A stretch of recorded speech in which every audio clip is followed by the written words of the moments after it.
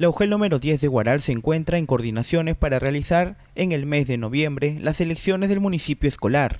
Estamos coordinando eh, para realizar el día 7 de noviembre las elecciones del municipio escolar.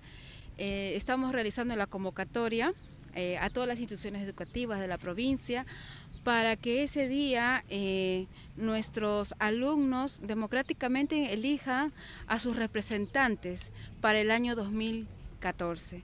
Entonces, eh, cualquier información, los colegas acercarse a, al UGEL número 10 con mi persona para poderle brindarles la información correspondiente. Eh, ya se ha estado dando esos talleres, ya como le he comentado, eh, con la municipalidad de Guaral ya hemos estado un proceso ya de capacitación, organización, planificación y ahora la ejecución de, de la que son los, las elecciones de municipio escolar. Bueno, ya este tienen un plazo hasta el mes de noviembre, pero nosotros ya como hemos estado planificando, estamos quedando para el día 7, porque posteriormente eh, a la quincena de noviembre tenemos pensado eh, realizar la juramentación con todos los alcaldes y los regidores de acá de la provincia.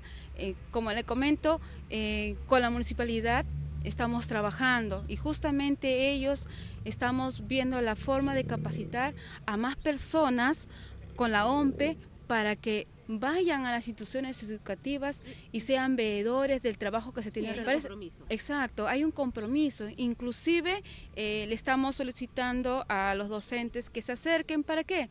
Para poder brindar primero información y si necesitan materiales como cabinas y ánforas, para poderle solicitar a la OMPE para que nos los traigan a nosotros y hacer la entrega a ellos para que puedan ejecutar lo que son las elecciones presentes. Sí, ya hay algunas instituciones educativas que de la parte alta ya han llevado sus oficios y ya están coordinando. Asimismo, se hizo un llamado a los tutores de las instituciones educativas de la zona alta para un taller de capacitación. Sí, este agradecer ante todo lo que el trabajo que se viene realizando en coordinado con la municipalidad de Guaral, a la vez también con la OMPE y también comunicarle a los directores de la zona altoandina que tenemos nosotros un taller el segundo taller de tutoría que se va a realizar a cabo el día 24 de octubre.